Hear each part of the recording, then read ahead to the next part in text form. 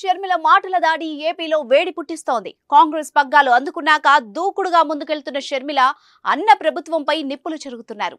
తప్పుల్ని ఎండగడుతూ తీవ్ర విమర్శలతో విరుచుకుపడుతున్నారు.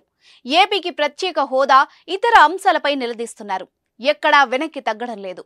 సై అంటే సై అంటున్నారు. తాజాగా మరోసారి సంచలన వ్యాఖ్యలు చేశారు. గజం కేవలం ఇరవై మూడు వేల రూపాయలతో నూట అరవై ఐదు గజాల భూమి కేవలం ముప్పై ఎనిమిది లక్షలు మాత్రమే.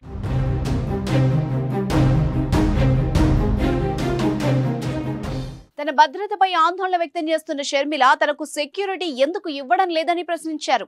భద్రత ఇవ్వడం లేదంటే తన చెడు కోరుకుంటున్నారని అర్థం కదా అని సీఎం జగన్కు పరోక్షంగా చురకలంటించారు.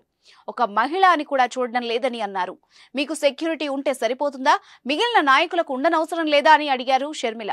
నేను ఆంధ్ర రాష్ట్ర కాంగ్రెస్ పార్టీకి అధ్యక్షురాలు ఈ రాష్ట్రంలో నాకు తిరగాల్సిన అవసరం ఉంటుంది.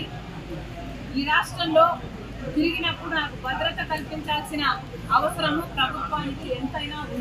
కానీ అవేవి పట్టనట్టు ఒక మహిళ అని కూడా చూడకుండా అధ్యక్షురాలు అనే ఇంగితం లేకుండా ఈరోజు మేము అడిగినా కూడా మాకు సెక్యూరిటీ కల్పించడం లేదు అంటే మా చెడు కోరుకుంటున్నారనే కదా అని అర్థం. షర్మిలకు మరింత భద్రత పెంచాలని డిమాండ్లు కొంతకాలంగా వ్యక్తం అవుతున్నాయి. కాంగ్రెస్తో పాటు పలువురు టీడీపీ నాయకులు కూడా షర్మిలకు భద్రత కల్పించాలని డిమాండ్ చేస్తున్నారు. గత నెలలో తనకు భద్రత పెంచాలని ఏపీ డీజీపీకి షర్మిల లేఖ రాశారు. కానీ ఎటువంటి స్పందన రాలేదు. కాంగ్రెస్ నాయకులు సైతం షర్మిలకు భద్రత పెంచాలని సోషల్ మీడియా వేదికగా డీజీపీని కోరారు. కాంగ్రెస్ కార్యకర్తలతో సమావేశాల కోసం షర్మిల రాష్ట్ర వ్యాప్తంగా విస్తృతంగా పర్యటిస్తున్నారని కొన్ని చోట్ల ఉద్రిక్త పరిస్థితులు ఏర్పడుతున్నాయని తమ నాయకురాలికి ఫోర్ ప్లేస్ ఫోర్ సెక్యూరిటీతో పాటు ఎస్గార్డ్ వాహనం కూడా ఏర్పాటు చేయాలని డీజీపీకి విజ్ఞప్తి చేశారు. అయినా ఫలితం దక్కలేదు.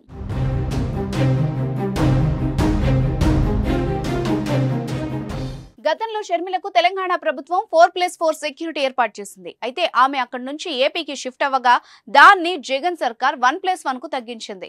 దాంతో షర్మిలకు భద్రత పెంచాలని కోరుతున్నారు. వైఎస్ జగన్ సోదరి అయిన షర్మిల తన భద్రత విషయంలో ఆందోళన వ్యక్తం చేయడం చర్చనీయాంశమైంది.